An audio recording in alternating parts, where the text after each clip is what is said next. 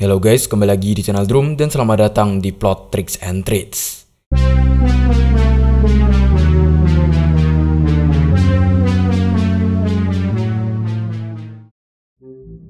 It's not me, it's my basement. Udah. Crosscare? Udah. Kini saatnya Tricks and Treats. Satu lagi game RPG garapan Arcade Kitten. Meski developer yang satu ini terkenal dengan game bergenre horor, namun khusus untuk Tricks and Treats, genre yang dibawakan lebih ke arah drama. Bukan, bukan drama yang itu. Drama mengenai persahabatan yang terjadi antara anak-anak polos di malam Halloween. Dalam durasi yang cukup singkat, kita akan dibawa masuk ke dalam sebuah kisah yang cukup menghangatkan hati. Jadi untuk menenangkan hati kalian yang sudah diteror oleh berbagai game horor, mari kita masuk ke dalam pembahasan kisahnya.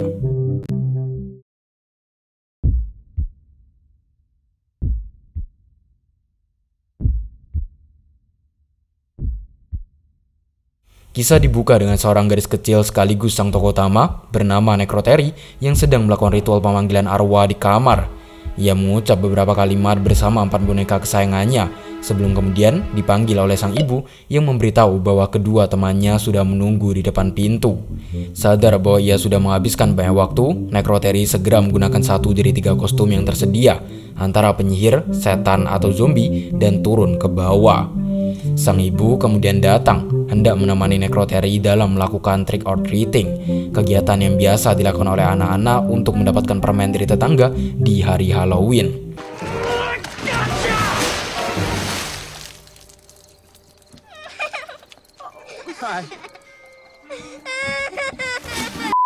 Tahun ini, Necroteri tidak ingin ditemani oleh sang ibu, mengklaim bahwa ia dan teman-temannya sudah cukup besar untuk melakukan trick or treating tanpa bimbingan orang tua.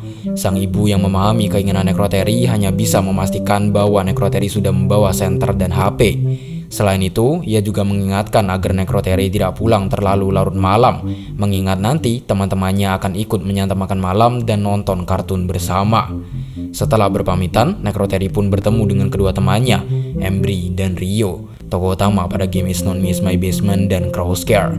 Tapi seperti biasa, Embry dan Rio yang ada di sini tidak memiliki kaitan apa pun dengan yang ada pada dua game lain. Timeline dan universe dari tiap game berbeda-beda.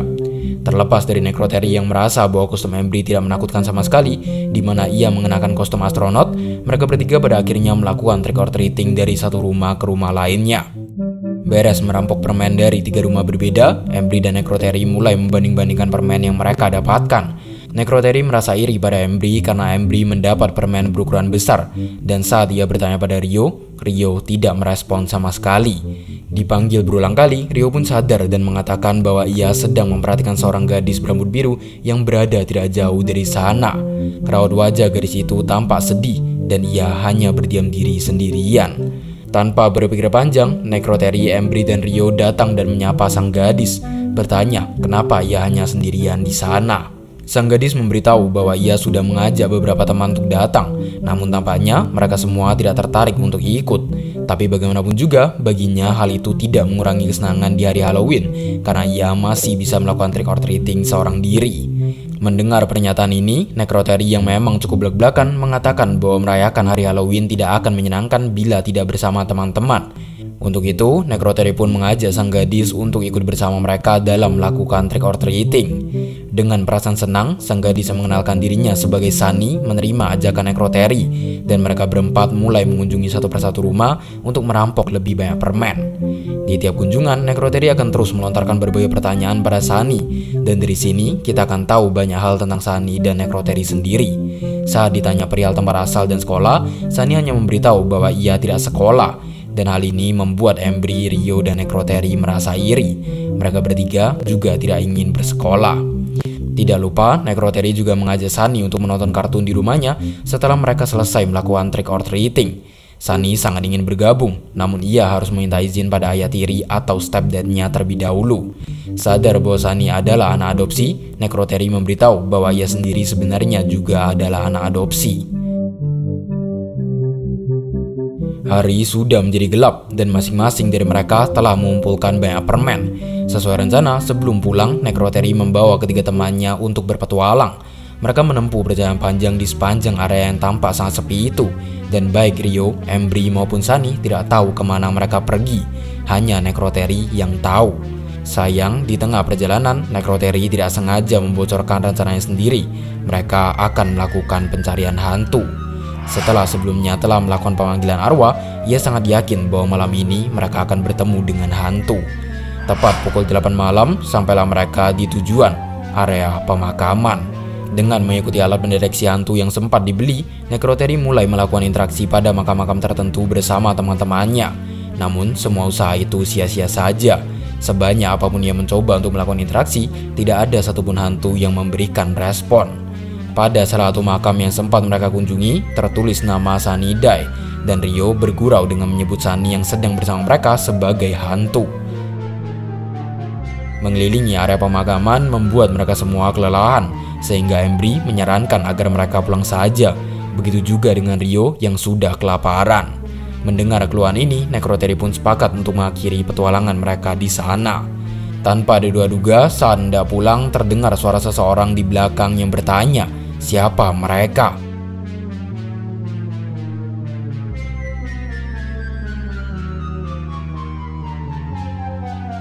Melihat ke belakang, terlihat sosok gelap dengan tanduk dan mata merah datang menghampiri. Seketika membuat Necroteri, Embry, Rio, dan Sunny sangat ketakutan. Mereka berlari sekuat tenaga menuju gerbang depan, namun sial, gerbang telah terkunci. Dalam situasi seperti ini, apa yang akan kalian lakukan?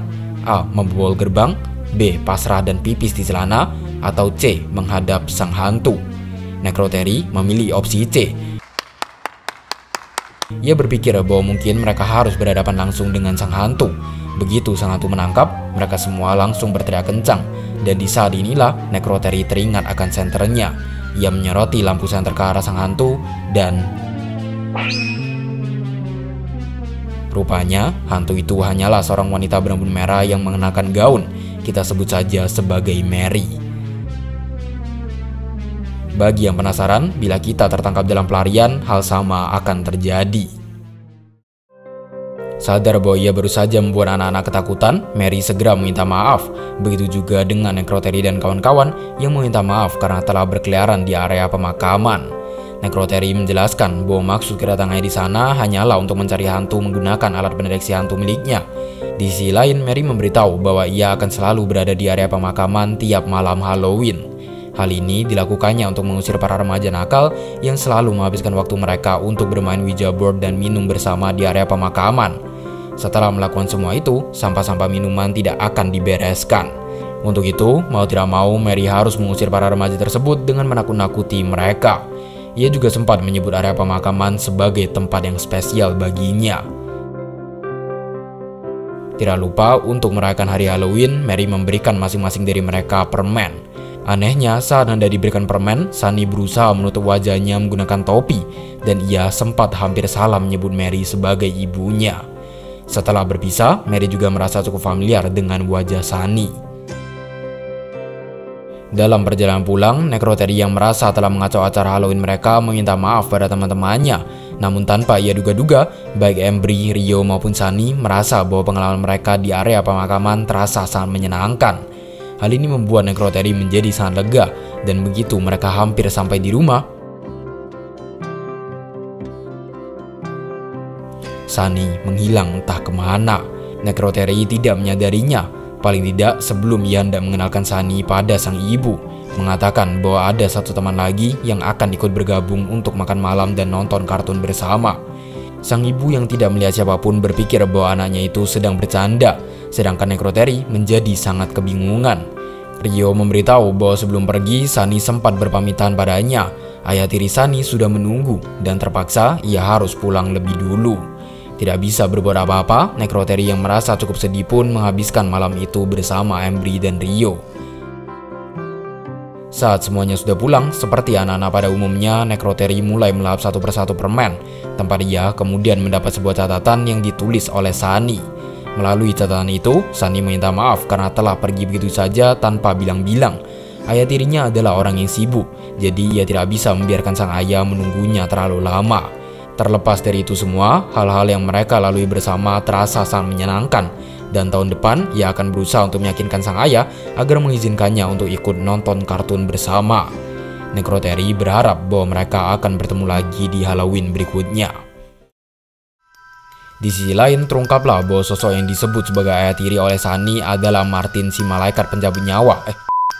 Di sisi lain, terungkaplah bahwa sosok yang disebut sebagai ayah tiri oleh Sani adalah malaikat pencabut nyawa, menandakan bahwa Sani bukanlah manusia, melainkan arwah anak kecil yang diperbolehkan untuk menikmati hari Halloween. Sang malaikat yang baik hati memperbolehkan Sani untuk pergi lagi tahun depan, dan Sani yang merasa sangat senang memberikan sebungkus coklat padanya.